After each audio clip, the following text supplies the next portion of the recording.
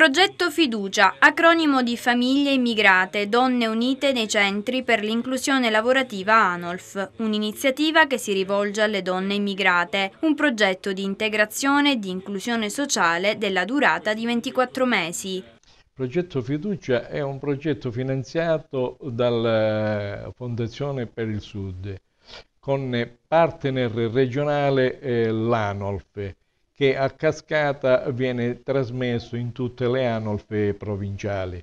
Il progetto prevede la formazione di eh, donne immigrate per l'assistenza domiciliare e familiare.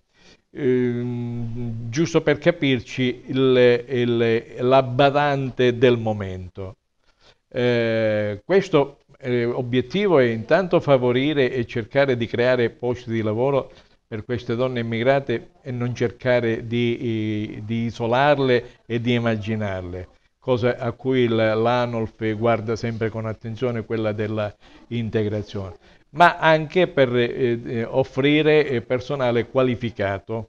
Noi vogliamo eh, garantire professionalità alle famiglie che si dovranno rivolgere a noi. Noi dopo che avremo preparato queste figure eh, si creerà eh, un albo regionale d'accordo con, eh, con l'assessorato regionale alla famiglia, un albo regionale dove si potrà attingere a questo, a, a questo personale. In questo progetto sono impegnate eh, due figure molto importanti che sono i nostri mediatori culturali Inde Fara e Tariq Marfocchi, due figure molto uh, importanti per, per, la nostra struttura in quanto sono uh, loro che hanno il contatto diretto con, con questa gente, loro che hanno il termometro di misura del bisogno di questa gente, quindi loro saranno molto preziosi anche nella selezione delle, di, di queste persone.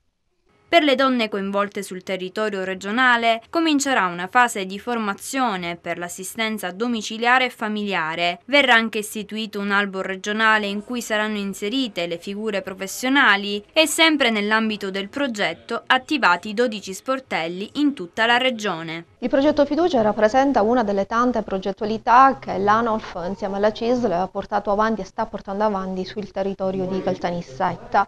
Ovviamente l'obiettivo fondamentale è quello di favorire l'accoglienza e l'integrazione di tutti i soggetti stranieri residenti sul territorio.